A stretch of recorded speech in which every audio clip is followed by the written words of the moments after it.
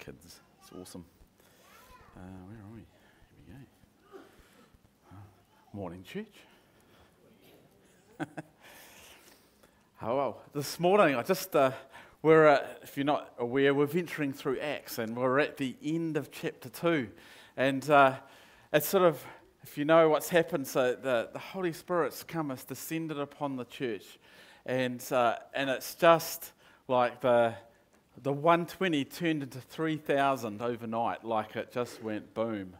And it's really cool that we sort of think, oh, so what did that look like? Like, what was the picture of that? And what was the effect of that? And, and Luke, at the end of this chapter, he sort of pauses on the stories and he gives us this overview of, of actually the fruit of what the church actually looked like, what happened in the people's hearts, and, um, and what was going on in that well, in the first weeks, you know, days of the um, uh, after um, the Holy Spirit coming on the people. And so, uh, yes, yeah, five verses here, Acts 2, 42 to 47. So let's, uh, let's read it. So it says that they devoted themselves to the apostles' teaching and to fellowship, to the breaking of bread and to prayer. Everyone was filled with awe at the many wonders and signs performed by the apostles. All the believers were together and had everything in common. They sold property and possessions to give to anyone who had need. Every day they continued to meet together in the temple courts. They broke bread in their homes and ate together with glad and sincere hearts, praising God and enjoying the favor of all the people. And the Lord added to their number daily those who were being saved. Oh, that's quite an incredible picture, isn't it? Like when you actually pause and just uh, read that and just let that kind of imagine that. Um, quite a, an amazing picture of what the fruit of what was going, you know, of the Holy Spirit descending upon the church and the and the the, the outworking of that. And I really want to encourage you, like uh, if you're to get into your word and get into reading. We're in the youth group. We're going through and we're doing what's called Kahoots each week, which are like quizzes and uh, and so each week we're doing a chapter, and then and the kids are reading it, and then and there's chocolate on the line, which is always a good uh, good motivator. But uh, the acts of the church and the acts of the Holy Spirit, it's it's like in that first book of in that book of Acts, there's there's miracles, there's leadership battles, there's people are stoned, there's riots, there's thousands of people coming to faith. Kids, there's even shipwrecks. Like it's it's a cool, it's an amazing book to, to dive into, and it's what we're going through. And, um, and so to think that, you know, that the people's repentance, right, and that, you know, when it said that Paul, uh, when he preached to them at first sort of sermon when they, uh, on Pentecost, that they, they responded and it said they were cut to the heart and they, and they um, repented and believed and got baptized. That, uh, and we see from this that actually they didn't drift off.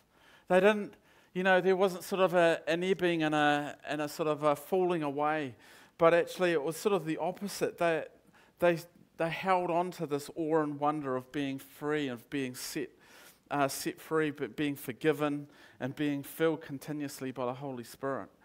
And so it's sort of a picture of this seven day a week church. That, like I was saying, like every day more people were coming to faith. And uh, and you know, and being added to their number. And so, church didn't really start at Pentecost. Actually, if you think of church as like the people of God, well, it started four thousand years prior. Oh, sorry, four thousand years from us. You know, right back to Abraham. And but the Pen- day of Pentecost is when the the remnant of God's people.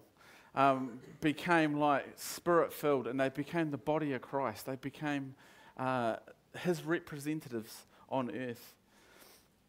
And so the question I was is like, what evidences did the church have that of being of the power and the presence of the Holy Spirit? And when you read that, and there's three things that stood out to me, and and I guess it's I want to encourage you that actually the extraordinary is in the ordinary. You know, it is it's just in the life and doing life. And so the first thing it says that they were that they were a learning church. That actually it, it says that they devoted themselves to, to, the teaching of the apostles. And so that word devotion, it, it means like to be committed, to, to something that they persevered and they pushed through. And, and I bet there were some teachers and some people, you know, it's like, oh man, I really like Peter, but the other ones, oh, I really like the when John preaches, or they maybe they, they you know, there's different, they had favourites, or um, some weeks I imagine it wasn't, you know, maybe it wasn't quite as exciting as another week, or who knows? But there's, but there's this sense of being devoted, of, of persevering, of, of pushing through. And um, I heard one uh, commentator put it like this it's like uh, that, that Jesus opened a kindergarten for 3,000 people, and, uh, and the apostles were the kindergarten teachers. You know, and so it's like they, they got stuck in and they attended every day and they, and they learned what it meant to have faith and they learned from the, um, the apostles to, uh, to steward the Holy Spirit, to, to read the Word. And, and, you know, and they learned under them what, what it meant, uh, what, Je- what the significance of what Jesus did on the cross. And, and it's like the apostles over that next 30 years or so, they began to write down the stories and they began to write down the teachings and, the, and what happened. And that formed the New Testament. That is the, those stories, the very stories that we're reading today, of what was being taught um, by the early apostles and, and what happened as a result. And so they sat um, at human feet and they, they drank it in, they processed it. And so the, ordin- the extraordinary was in the ordinary. And it's like, and, and we hear it in the New Testament too, it goes on and you'll, we'll hear the stories, but the, the miracles and the, uh, and the signs and the wonders and the, um, and the preaching and teaching, it, it rippled out from the apostles. And, and many people who were not part of the 12 apostles, the church itself held on to that power. And they, and they preached and they taught. And, and it was the church that carried it, the body that carried it. And, and, and that's what they picked up through the teaching. And it's, it's so cool that um, that, you know, that's reflected in, in this church, that actually we, we have teachers and we have preachers and we have, we have Ignite and we have youth group and we have small groups. And, and, and so it's that devotion to teaching that the extraordinary is in the ordinary. So I, I want to encourage you that, that actually the reason why we do what we do is because we are following on from uh, what the apostles did, the same patterns. And and that's what they did, and that's how the church flourished. And so, one of the signs of a, a church, a spirit filled church, is that they, they were devoted to, the, um, uh, to, to teaching and to walking it out. And that teaching had power. You know, it wasn't, it wasn't just head knowledge, it was heart knowledge. It transformed, it changed people's lives and uh, as, they, as they walked it out. And so that's the first thing. And I, I remember uh, I was thinking about this, this term at youth group. We've been doing this st- uh, study on, on the Holy Spirit, and, and we put these different uh, promises of the Holy Spirit around the room, and we made it a scavenger hunt. And it was sort of like, uh, you know, I promised never to leave you. And so they found that and they wrote it down, you know, to, or took a photo of it actually, it's modern technology. And then they found another, and it was like, I'll promise to give you peace. And, uh, and there was another one that I promised to teach you. And so they took photos of all these promises, what we found in, around. And then and in groups, we were like, right, so what is it that you need? What is it that, that actually that you need today? And one of the lads was like, man, I, I need self-control. Like, I just, I get so angry at times. And it was incredible watching these young lads, you know, uh, and they just prayed for their mate. And man, and he had tears in his eyes. So, and it's that's see the extraordinary is in the ordinary. It's just doing life with each other and actually having the courage to to ask questions, to speak out, to pray, to and doing those things. And and they when people see God move and they see lives changed, like man, it's attractive. It's really exciting. And and we carry that power. We carry that because the Holy Spirit is, has promised to, to be with us.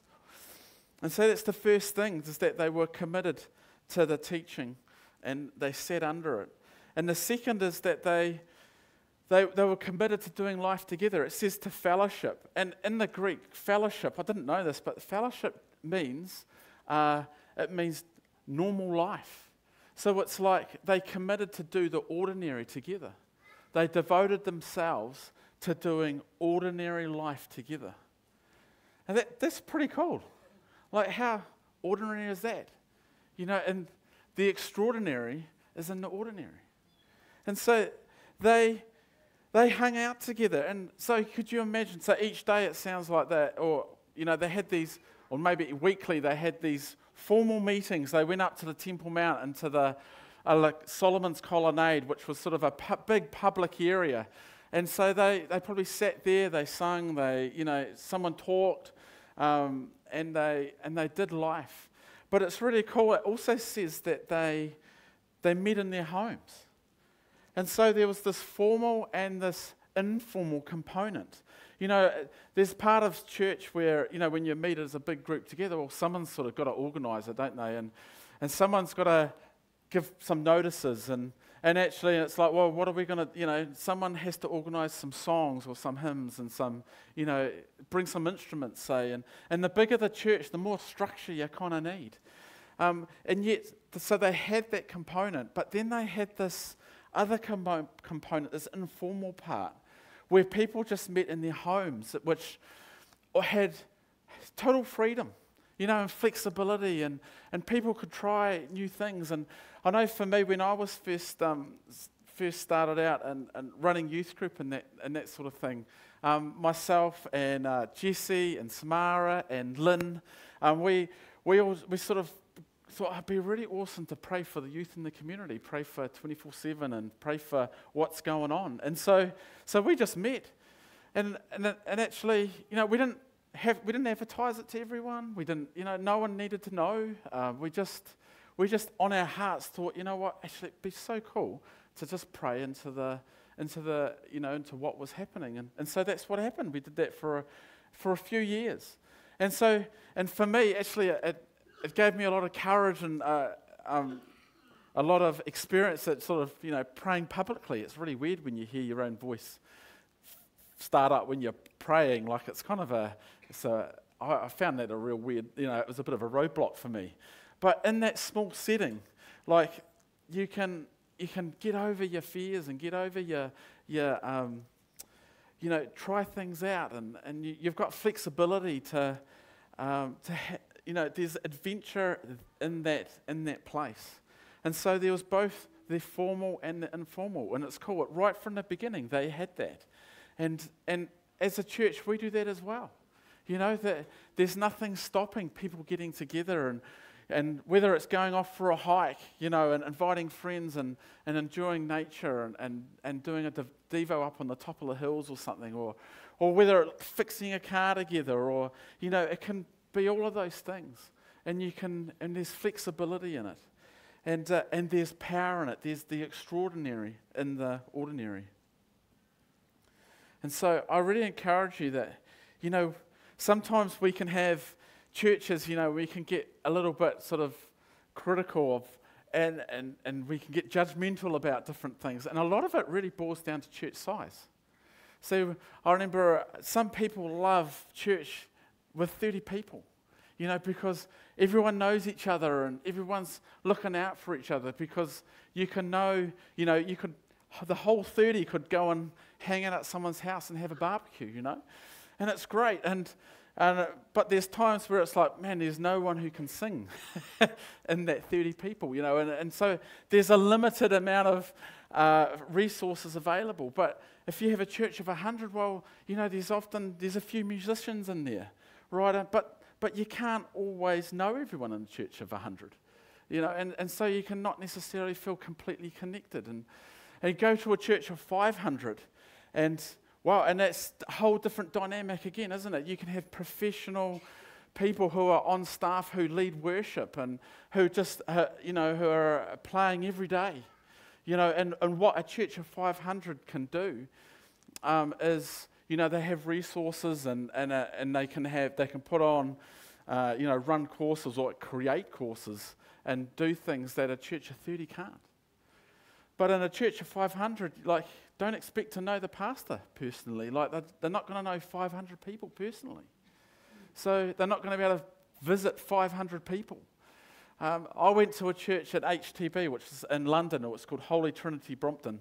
And, uh, and that's the home of Alpha. And they have four services a day, and it's in this old Anglican sort of cathedral. And it's all built of stone, and um, it's sort of got huge history, you know, and you're, and you're sort of looking around pillars, and, you know, and the, and the, um, the actual church is probably about, you know, sort of it's actually not probably even as wide as this, but it's about three times as long, you know, and you're sort of like, you're looking overhead trying to see what's happening, you know, and the, and the gallery up top, you know, it's about 40 degrees up there because the heat all goes up, you know, and, and uh, but man, they, they run this, you know, this sort of home of Alpha, and, and they have this worldwide, you know, ministry, and it's amazing. And the, in the two years that I went there, I, I met Nicky Gumbel once. I had a conversation with him once, and that was it. I remember times you'd go to a service and, uh, and you'd, you'd not see the person sitting beside you for, you know, a year later. You know, you'd be like, oh, bro, you know, I do remember vaguely I sat beside you about six months ago, you know. And so there's this totally different dynamic that happens in churches. And, and, uh, but in it all, right, there's still this, this sense of doing life together and that, that might look differently, and it might look in uh, small groups, and um, it's, but it's, it's still the same heart, there's still the same ethos, and uh, you've got to find where you fit and where you uh, works for you, and the church size that that you um, you know that you're that you're a part of. And there's, there's always pros and cons. No one's, nothing's going to be perfect. And, and I imagine all of that dynamic was happening too in the early church. You know, it's probably the first mega church, 3,000. Like, it would, uh, it would be, you know, a, um, a pumping place.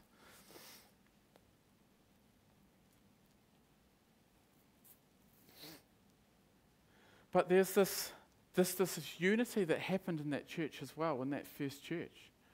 And that they, they were united over, over Jesus and they were of one heart and one accord, and they were devoted to each other. And and I was talking to Greg about that, and and he he um, shared a story. He was just telling me about this Warriors coach Andrew Webster, who's the he's really turned around the team, you know, and they've done an amazing.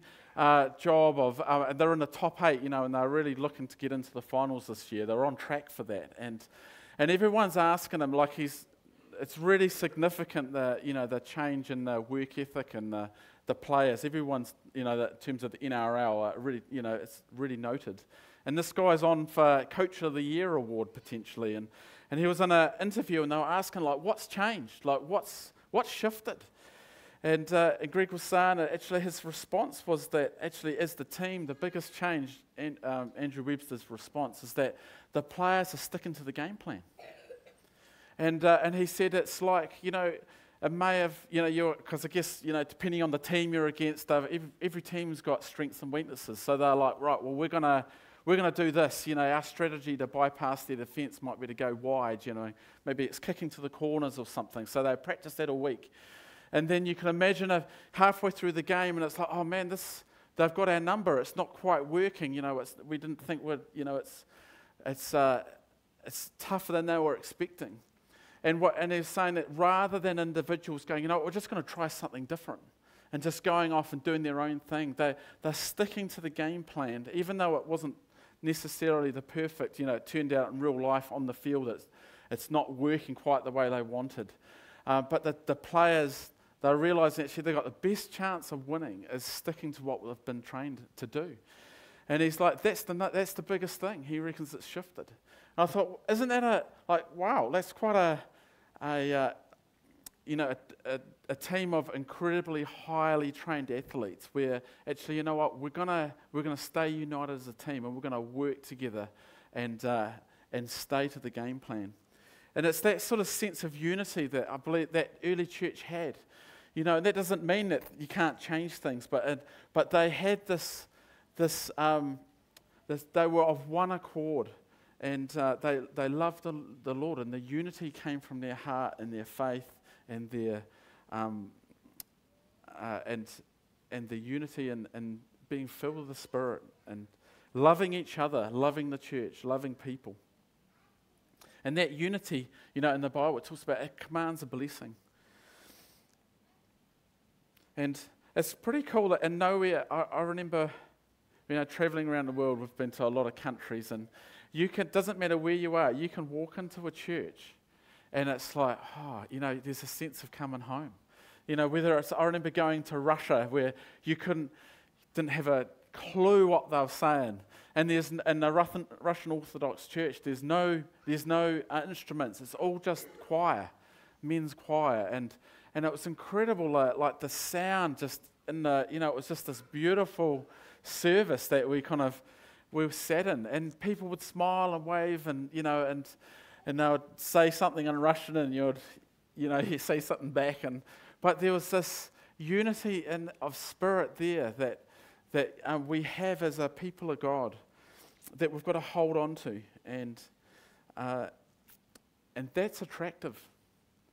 And another fruit of the church being filled with the Spirit was that they ate together, they fellowshiped together. And uh, I, I didn't quite appreciate really thinking about the, you know, putting our, our kitchen right in the centre of the church. You know, it's access from the foyer, it's access to the, and, and sorry, into the hall, into the foyer. You know, it's just a few metres from this auditorium. And, and realising that, wow, that making, you know, food a central thing that actually people love food. You know, I love food. You know, we when you invite people and over and you ask them, hey, do you want to stay for a couple? Or do you want to, you know, we're going to get some food out. Do you want to hang around? People will stay. People will stay for food. And, and some of the best conversations you have are around food. It says that the church, that they broke bread together. And so that was a, um, that was part of that was um, uh, the formal part of the meal of actually having communion together. You know, to recognize the breaking of the bread, symbolic of Jesus, uh, you know, his, his, body broken for us. But there was, there was a greater sense that they fellowshipped and they, and they ate together, and, that, and there was a formal part of the meal and an informal part.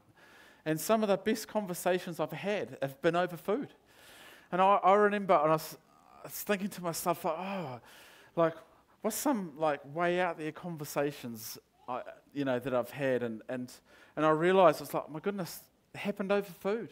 I was in uh, one time I, I, went tramping and I was in Arthur's Pass and I was in what's called the Mingha Hut and, and that's right at the top of the pass between the Mingha and the Deception rivers. So the Deception goes down to the west coast and it's like this full-on rainforest rugged as river, you know, with houses, uh, sorry, boulders the size of cars, like they're huge. And it's sort of, and then on the Mingha side, and the east side, it's just like over 500 metres, turns into tussock and, and uh, like what you'd find on the, you know, walking up around Mount Oxford. It's sort of, it's got that east coast, east side um, forest. And I'm sitting in there, and we, we got into this hut, and there was these two guys who were um, got into the huts before us. And so it's basically, you know, first in, first serve. And these two guys were, um, were walking around and doing that, you know, getting their room ready, etc. And so we got in there and did the same. And, and, uh, and then we got chatting over cooking dinner together. We were, you know, everyone got to get out their little cookers. And turns out they were American. And, uh, and then it turns out that these two guys flew F 16 fighter jets. And I thought, like, what the heck? How, like, what's the chances of meeting real life Top Gun fighter pilots in a tiny little hut back or beyond, you know, in, in New Zealand? And uh, we had this conversation with them, and they were telling us about they, they flew in Iraq and over 1991 and the you know the um, the Iraq War, and they were telling me about their flying these planes over the desert and trying to track down tanks and this, that, and the other. And I was like, it was just so surreal, you know. And you, you just don't know who you're sitting beside. You don't know people's, often people's stories. And it's incredible the richness and the joy of community when you fellowship with people. And so the extraordinary can happen over food. That's why we do food together. That's why we, we were doing the, you know, the lunches, and, and that's why we, wanna, we, we want uh, to fellowship over food going forward. That's why we want to invest in and create this kitchen that can be used seven days a week. And uh, we can, I've got my donut maker in there, which we're slowly polishing up and getting ready. And um, I showed the boys, the youth on Friday night. They're like, oh, it looks a bit greasy, you know. And I was like, guys, it's okay. You know, you have eaten donuts out of this donut machine. It was from Easter camp. And they're like, okay, so we haven't died, so that's all right. That's, it's obviously okay. You know, but we're cleaning, cleaning things up and we're preparing. And, and uh, you know, in the not too distant future, we're going to be able to use it. And I wonder what lives are going to be impacted by the sharing of food. That's going to, the conversations that are going to happen here and in the foyer and outside on the picnic tables and and, um, and that's going to happen through conversations that you're going to have with people, prayers that you're going to have with them. You know, and, and that's, that was what the early church was about, that they, they talked together and they ate together and they fellowshiped together and the kids were there and kids love food, youth love food, you know, we all love food and uh, we can do that and, and connect. Another fruit of being filled with the Holy Spirit was that, the, was that it was a church of prayer, that they prayed. They were a praying church. They prayed for growth. They prayed for courage to share the gospel. They, they prayed that they would not be put off by persecution. They, they, they wanted to have a, um, they, ha- they were an outward looking church. I, mean, I had a chat with, this, uh, with Doug. Uh, he was a, a shepherd from uh, Lincoln Baptist, uh, Linwood Baptist, sorry, and he just spends his time walking around now the streets around Linwood and bumping into people and, and, and talking with them.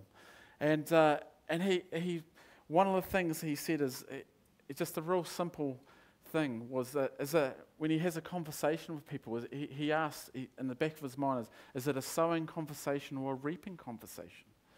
And so, quite often, he would actually say to people, like, and he would ask them about their faith and ask them their journey and that, and, and what they believe, and over meeting these people and on the streets.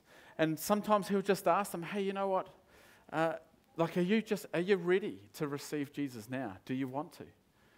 And he was just picking up that maybe this is a reaping conversation. And he's in, he couldn't believe the number of times people go, oh, actually, yeah, yeah, I am. You know, and he would say, you know, sometimes we don't actually give people the opportunity to cross the line, to cross the threshold. And actually, people are very open. And uh, I was talking to the builders this week about, you know, about their journey, about what it's like in, back in their country. And, and, uh, and we got talking, you know, and had a really great conversation about faith. And actually, people want it, and it's the most uh, important conversation you can have. You know, it's like, so what happens after death? And so we can be a we can be a praying church. And and it's a real simple thing to just have in the back of your mind. Is it a sowing conversation? Can I just sow a, something a little bit more into, into their journey, into their life?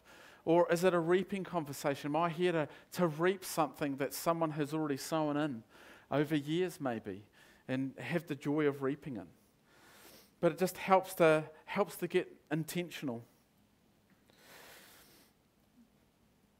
Um, and lastly, I want to. They, they, were a, they were a church of action. It says in verse 45, it said they sold property and possessions to give to anyone in need. Every day they continued to, this is in verse 45 46. Every day they continued to meet together in the temple courts. They broke bread in their homes and ate together with glad and sincere hearts, praising God and enjoying the favor of the people. And, and so there's this, their faith, you know, you know it runs deep when it extends to finances, when it extends to, to actually moving past just prayer, but but it moves into action. It moves into helping people. It moves into, uh, into maybe collectively sharing possessions, you know, and helping people with life. Um, and this, this idea of selling houses and lands, and maybe because imagine selling your Xbox to raise some money to give it to someone. Like, wow, like that's, that's next level, isn't it? Like, Oh no, Daniel Sam's mouth open. the thought, but actually, that's that was the passion that they had, right? That was the love that they had for people. And it wasn't a foreign concept. Um, the Essenes, that you might have heard of that group of people, they were, the, they were actually the ones that uh, had the Dead Sea Scrolls that in the 1960s they found in, Ein Gedi. And, uh, and there were a whole lot of scrolls they found just in, in the back of caves. Um, and they were, they were from the, these people called the Essenes, uh, a group who lived in community together. And one of the requirements was like, well, if you want to live together and share resources. You, when you came, you gave everything you had to the collective. You sold or gave all your possessions to them, and then you lived in community. That was their, um, that was part of the costs of living together. And so, this idea of sharing of possessions was not a foreign thing. Um, but it's interesting that here you see, even in verse 47, it says that they met in homes directly afterwards. So, they still had private property. It wasn't like this verse here saying that everybody in that, in that New Testament church, everyone just sold everything. No, that people who had a heart, who they felt to free resources. Maybe they had land in a field that they didn't need anymore, or they felt like, actually, I want to sell it and free up the capital and give it to the church. So again, it wasn't this rule. It was something, again, that was moved from their passion and their heart for the Lord and heart for people and the heart to see um, people's needs met collectively, that, that out of that passion and that heart that they, they sold and shared possessions. And so they were a church of, of action. You know, and I, I remember times where we've been blessed, and uh, back when I was studying in 2010, and we, uh, we gave up my job and uh, for two years, just on the student allowance, which was just, you know, barely covered, um, you know, your groceries and things like that, let alone all your main costs. And, and for two years, we often, at five o'clock at night, someone would just knock on the door and, hey, here's some carrots, you know, here's some veg. Uh, others, people just gave us a few kilos of sausages and just little things, but man, it touched our hearts. Like you have no no idea how much sometimes the little can impact people. Because it, it, as much as it's is, is um, you know meeting a lead need, it's actually saying, "Man, I thought about you. Like I, I care. You know, you're you're on my heart, and and so I've come round to deliver something." And so they were a church of action. And and don't never underestimate what the impact is of, of sharing, of helping people out, of, of changing a tire, you know, of, of whatever it looks like. But actually, action really does speak, you know, a huge amount to people. And it's, so it's in the smallness of the community that the extraordinary happens. It happens in the ordinary. And it happens in life, doing life together. And and so I just encourage you, like, like me and Greg and Teresa and, uh, and Samara, we can't, you know, feed everyone. We can't check everything. We, can't, we don't know everybody's needs. But as a church, we do. You know, as a church, we can, and as small groups, uh, you, you know what's going on with your neighbours. You know what's going on around the corner. Actually, and this is the thing, uh, uh, this what was happening in the new church was very organic. It, it wasn't leader led. It wasn't like Paul was going, right, we need to go, you know, go to this, this, this, this place. We need to divvy out this, that, and the other. Actually, it just, people did it on their own volition. People were looking out for each other and they had a heart for, um, you know, for the community and for, and that came out of um, their passion for the Lord. And so it was an outward focused church. It was a loving church. And so, those are the three, just three simple things. You know, that the church, it was a church that, that, that had a, was devoted to teaching and to the word and to the, the Bible. It was a church that was, had a heart for worship and a heart for um, doing life together, doing the small things. And, and it was a, a, a, sorry, and a church of prayer. Three simple things. But in it, the extraordinary happened. And, um, and as we read through Acts uh, in chapter 3, you find out about some of those extraordinary things. And it says that the community was in awe of the miracles, of the, of the love that the community had for each other, for the, the way that it looked out for each other.